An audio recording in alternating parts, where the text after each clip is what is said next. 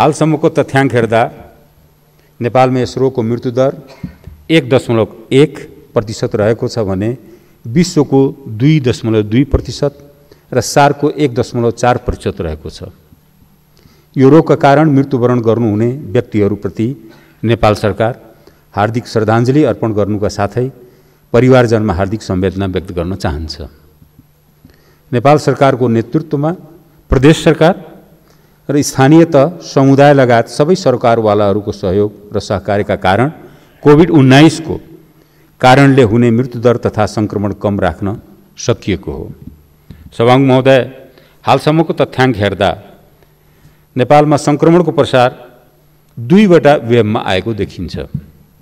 पहिलो वेब जेष्ठको दोस्रो सातादेखि बढ्दै असारको दोस्रो सा साता उच्च बिन्दुमा पुगेर साउनको पहिलो सातामा न्यून अवस्थामा पुगेको थियो।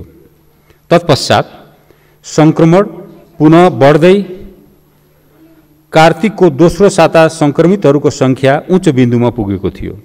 कोभिड उन्नाइसलाई नियन्त्रण गर्नका लागि आवागमनलाई थप व्यवस्थित गर्दै रोगको शीघ्र पहिचान र आइसोलेसन शङ्कास्पद व्यक्तिलाई अनिवार्य क्वारेन्टिन र जनस्वास्थ्यका मापदण्डको पूर्ण पालन गर्न सकेमा महामारीकोलाई नियन्त्रणमा राख्नुका साथै समयका हिसाबले पर धकेल्न सकिने भएकोले यसतर्फ सबैको ध्यान जरुरी छ।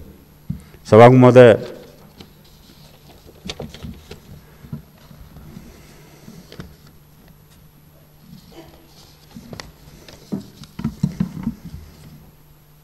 केही यसको क्रममा जाँदा यसको रोकथामको क्रममा जाँदा नेपाल सरकारले केही नीतिगत तथा कानुनी व्यवस्था गर्न अनिवार्य थियो र नेपाल सरकारले महामारीको सुरुवाती अवस्थादेखि नै वैज्ञानिक तथ्यमा आधारित यथार्थपरक नीतिहरू अवलम्बन गरेको छ। नेपालको विशिष्ट आवश्यकतालाई सम्बोधन गर्ने गरी समयमा आवश्यक नीतिहरू तर्जुमा गर्दै बहुक्षेत्रीय सहयोग र समन्वयमा लागू गर्दै आएको छ। महामारी व्यवस्थापनमा समग्र सरकार र समग्र समाज whole of the government whole of society परिचालनको नीति अनुसार सबै संयन्त्र निकायहरूलाई समन्वयात्मक तौरले परिचालन गरेको छ।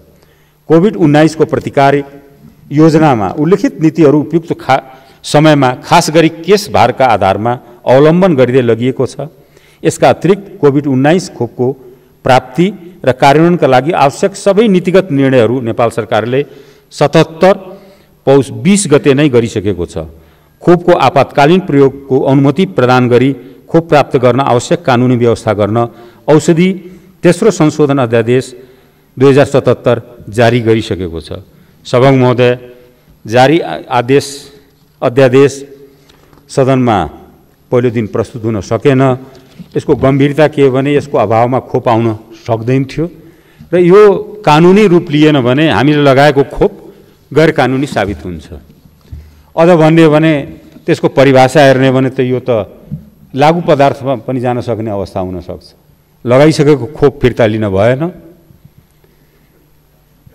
लगाउनु पर्ने खोपको लागि त्यस कारण यसको कानुनी व्यवस्थाको यसमा यस बारेमा मैले बढी चिन्ता व्यक्त गर्दैछु कि यो विषय अन्य विषयभन्दा अलिकति अलग किनभने हामीले योभन्दा अगाडि परिकल्पना पनि गरेका थिएनौँ यस प्रकारको खोपको विषयमा र त्यसको कानुनमा कोही व्यवस्था पनि थिएन। त्यसैले सरकारले बाध्यात्मक रूपले यो अध्यादेश जारी गरेको हो। यही क्रममा महामारीको सामना गर्नका लागि विपदका बहुक्षेत्रीय संरचनाको हरूको सक्रियता आवश्यक थियो। त्यसै कारण नेपाल सरकारले माननीय प्रधानमन्त्रीको नेतृत्वमा उच्च स्तरीय संयन्त्र गठन गरी परिचालन गर्थ्यो यसका अतिरिक्त छिहत्तर चैत सोह्र गते सङ्घ प्रदेश जिल्ला र स्थानीय तहमा कोरोना क्राइसिस म्यानेजमेन्ट केन्द्र सिसिएमसी स्थापना गरी बहुक्षेत्रीय गतिविधिहरूलाई समन्वय र सञ्चालन गर्ने कार्य गरेको छ। यसै गरी स्वास्थ्य तथा जनसङ्ख्या मन्त्रालयमा इन्सिडेन्ट कमान्ड सिस्टम आइसिएस स्थापना गरी सुरुका दिनमा दैनिक र दैनिक र सङ्क्रमण दर कम भएपछि हप्ताको दुई पटक बैठक मार्फत वस्तुगत नीति तथा योजनाका निर्णयहरू गर्दै समग्र महामारी नियन्त्रणको प्रतिकार समन्वय र अनुगमन गरिराखेको छ।